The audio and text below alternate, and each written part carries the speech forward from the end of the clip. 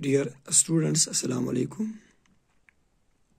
I hope you all would be fine by the grace of Almighty Allah. I am going to teach you the extract of the same poem to blossoms. The name of the poem is Blossoms. And we are going to read today the stanza second of the same poem. پیارے بچوں، یہ جو poem ہے، یہ ہمیں message دیتی ہے کہ آخر کار اس دنیا میں جو بھی جاندار چیز آتا ہے، ایک دن اس کو، اس کائنات کو چھوڑ کے چلا جانا ہے۔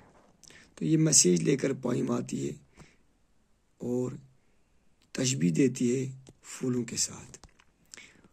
ڈیئر اسٹوڈنٹس میں اسٹینزا کو پڑھوں گا اسٹینزا سیکنڈ کو، اور آپ غور سے سنو گے۔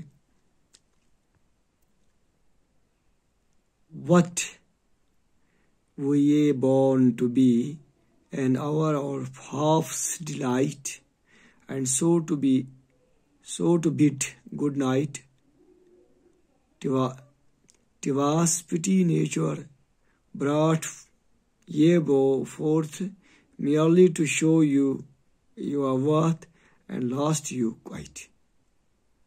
Dear students, the explanation for these lines is the poet is filled with shock and surprise to see how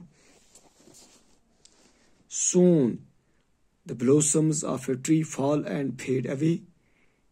He wonders if the blossoms were born merely for an hour or half's delight and then to go away forever. He calls it a pity that nature brought them forth merely to show their beauty for a while and then lose them forever.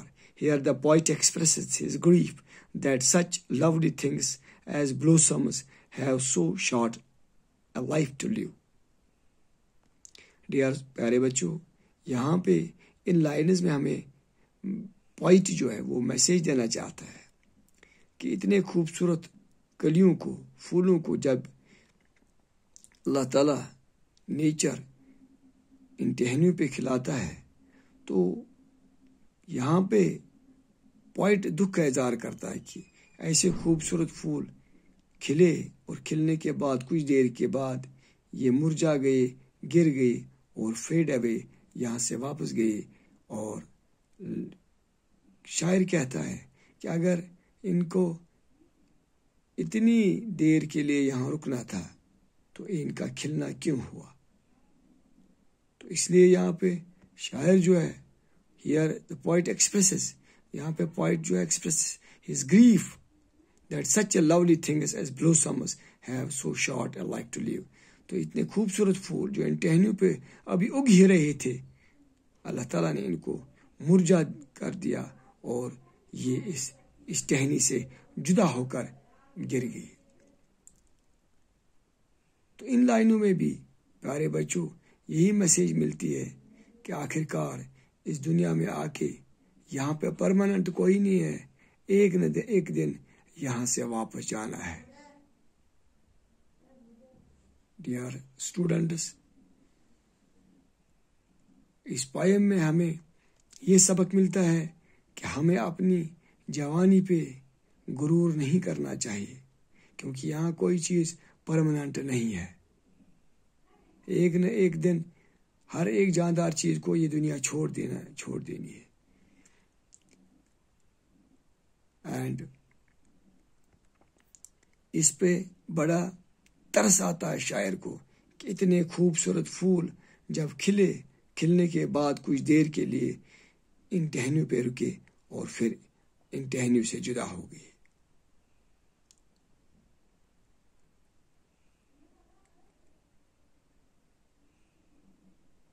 اس کے ساتھ ہی He wonders if the blossoms were born merely for an hour or half delight and then go away forever. تو کچھ دیر ان کو ہوا، کچھ time ہی ہوا، کچھ لمحہ ہی ہوا، کچھ دن، کچھ گھنٹے، کچھ دن ان کو ان ٹہنی پہ ہوئے اور پھر ہمیشہ کے لیے ہم سے جدا ہو گئی۔ آج کا اتنا ہی۔ انشاءاللہ اگلے ویڈیو میں پھر ملیں گے۔ خدا حافظ۔